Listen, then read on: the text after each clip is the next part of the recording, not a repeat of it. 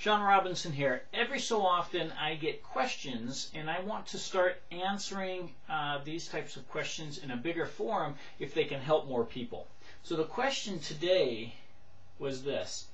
Uh, it says, uh, currently I'm between jobs. Ideally, I'd love to find an SAP shop in San Diego where I can lead some teams of peers. And it goes on a little bit. Um, and then she talks about her best traits. And they're wonderful, you know, unrelating determination to meet customers' needs, technical know-how across platforms, and some genuine concern for others. Okay, all very wonderful things. Industry experience, she talks about some industry experience, and then she says, any thoughts come to mind on what she can really do to get a job? What are the real steps right now and for always to get a job? Firstly, you need to do what? Let everyone you know know that you have a need and let them know in a way that they can help you. Um, you know, it, if you're at, if you go to church, if you if there's the the forum to to you know humble yourself enough that you can just stand up in front of people and say, "Look, I'm in need. I need help. I'm looking for a job in this type of area. I know you may not know personally uh, within your own work uh, that you know something that can help, but you might know someone that can help me. Please let me know if you do. Uh, you don't have to contact them, but let me know who they are, and I will call them myself. Or you can certainly, if you're comfortable, set up a time. So that's one thing, and that will be wonderful if you can let people know that want and like and trust you because they want to help you. That's number one step. In conjunction with this, at the same time that you're doing that, you're going to want to find companies that are hiring people like you. You probably know those types of people already. So what do you do in that circumstance? Well, that's where LinkedIn comes in. If you have a large database of people in LinkedIn, like I do, I mean, I have a huge database now, then go through, find people that work at those companies and give them a call.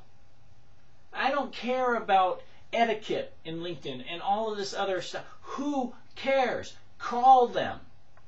Hi, this is Shawn Robinson. You don't know me, but we're connected on LinkedIn. Do you have two minutes? They'll say yes or they'll say no. If they say yes, and they always say yes, by the way, they always do. Say, I'm just wondering, I, I, uh, I'm, I'm interested in your company, as I don't know that much about it. I would love to. Is there a possibility that I could sit down with you at work there for about 20 minutes to, to just find out really what your company is about, the culture, those things that you don't learn by applying for a job. Everybody has 20 minutes. So, they'll say yes. You sit down with them and you have 20 minutes. Break it down into five minute blocks. Okay? The first five minutes you find out about them. Find out about what makes them tick. The second five minutes, you really do find out about that company. The third five minutes, you find out about what?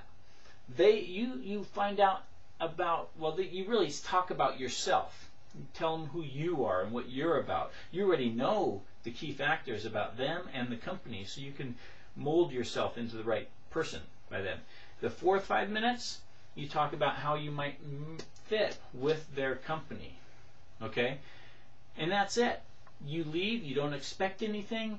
But what will happen is when they do want to hire someone, they know who you are. You can get the whole premise of this is you don't want to be in the pile. If any good job comes out there right now, what happens? There are thousands of resumes, boom, piling up. I mean, in a day, in two days, they just are getting all of these things in. You don't want to be on that pile.